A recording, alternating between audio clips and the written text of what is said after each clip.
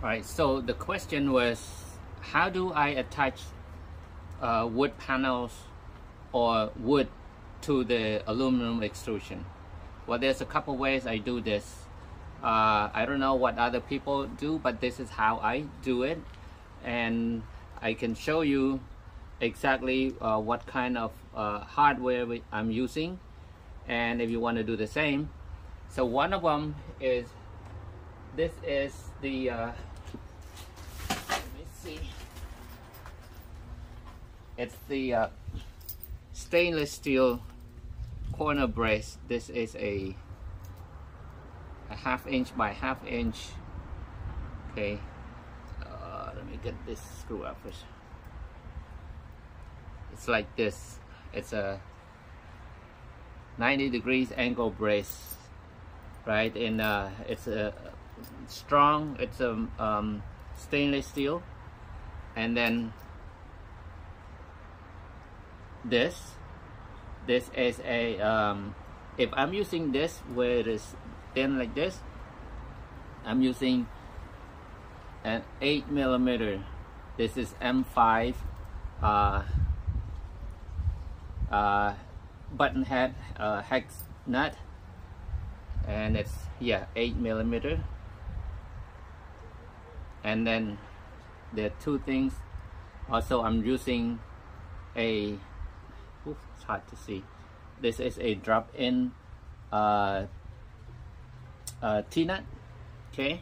It's a drop-in because this in this case uh, you don't have a place to slide in through the aluminum extrusion. This thing can just fit in. You can just insert it and then turn it. It, it goes sideways and it locks. You can screw it so insert that there on one side and then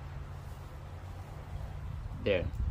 Okay so this eight eight millimeter uh, screw for this kind okay? And I'm using a 10 millimeter. If I'm using this aluminum extrusion angle brace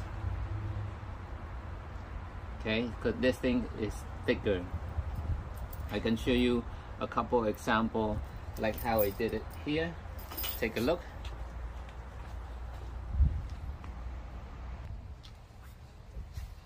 Here we go. You can see one side is the uh, nut the M5 and one side is just a half inch screw which is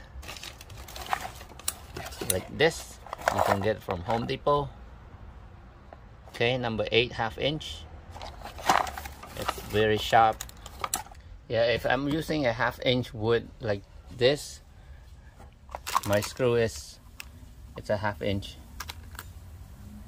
Those were the two angles that I'm using. Okay now that is only if you have access to screw the board from the inside right? You yeah you put the uh, angle right here and then you screw from the inside. What if there's something here and you don't have access to screw from inside? Um, what you can do is using the same angle like this okay you put the beam the wood beam across from here to here with these angle braces to the beam the, the wood. And then your panel you will have to uh, screw it use a screw to screw to the wood. So uh, yeah you can attach that from that side. That's when you have to screw in. Uh, that's the only uh, time that I, I put the wood beam across here so I can use the screw. I don't have to drill into the aluminum extrusion. Yeah there's a ways like that you can do but uh, it's up to you if you want to do the same. I will list the the link uh, the all the material the links of all the materials that I mentioned here in a link below. You can check it out.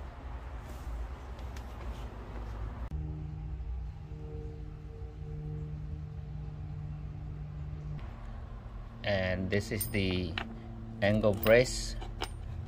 Closer look. They come uh, insulator like this you just peel it off to get to the uh, stainless steel finish. You can see this is my cabinet but but uh, bottom. And see I'm using that. And this is also another ankle that I'm using uh, stainless steel. This is two inches uh, aluminum I mean uh, uh, stainless steel touch to that and touch that to the wall. Here's a perfect example. You can see I don't have access to screw the the panel from the outside. I put that cross beam right here. Now I can screw into it